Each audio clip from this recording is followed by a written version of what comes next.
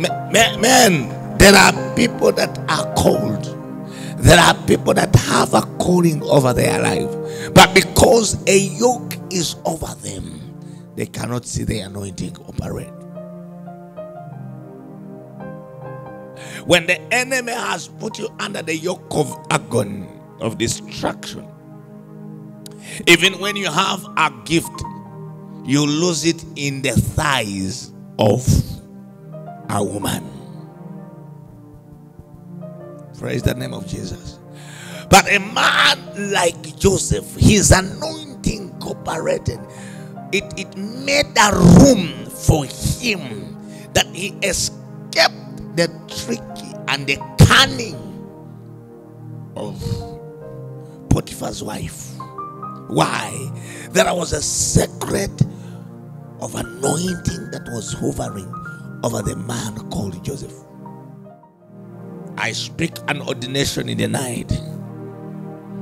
Isaiah 61, verse 1. And the Spirit of the Lord God is upon me because the Lord God has anointed me to preach the good news. Let's repeat it. The Spirit of the Lord God is upon me because the Lord has anointed me to preach. Child of God, it is in vain when you preach before anointing. Let me repeat it. You will always walk under a crossed heaven when you operate before you are anointed.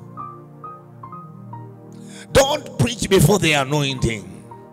Don't cast a demon before the anointing. He said, The Spirit of the Lord is upon me. The Bible said, when Jesus entered into the temple, he was given a book, a scroll in the book of Luke,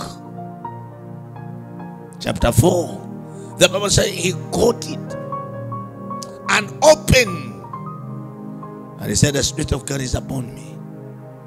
For God has anointed me to preach the good news to the poor. There is no way you can preach the good before the anointing comes upon you. My prayer tonight somebody shall receive anointing.